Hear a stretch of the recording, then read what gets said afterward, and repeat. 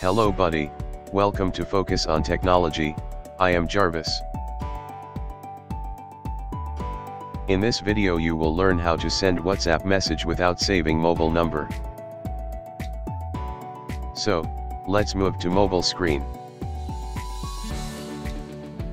Open Play Store in your smartphone and search for, Whatsdirect application.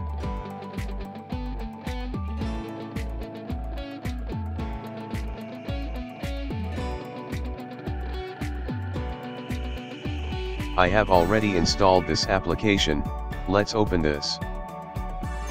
You will see this type of surface, type here mobile number.